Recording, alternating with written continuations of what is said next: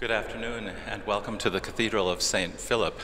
Whether you are joining us in person or online, we're delighted that you're here to share in another afternoon of glorious music in our sacred space.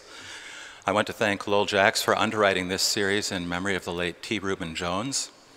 And if you are uh, listening virtually and would like also to hear Evensong at 4 o'clock, I just want to give you a heads up that you'll need to switch over to another page on our website, cathedralatl.org slash worship.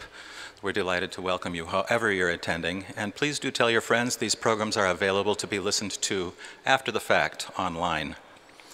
We're absolutely delighted today to welcome to the Cathedral for the first time Stephen Price, who is on the music faculty at Ball State University and he has prepared an absolutely wonderful program for us. A lot of wonderful, varied, not very often heard music, which I know that you will enjoy tremendously. For those of you listening virtually, he will begin with the Passacaglia from sketchbook number one by Daniel Gawthrop.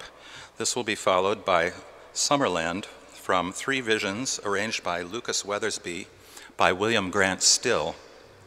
Following that, we'll have Brenda Portman's Psalm Sonata number one, which is based on the psalm texts, How long, O Lord, wilt you forget me? Forever?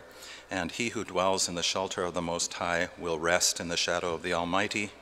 And finally, shout for joy to the Lord, all the earth, burst into jubilant song.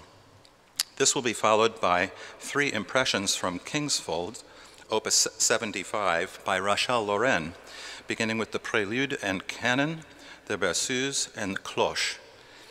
And finally, the program will conclude with Ned Rorem's Sunday night from Views from the Oldest House. Sit back and enjoy this wonderful program.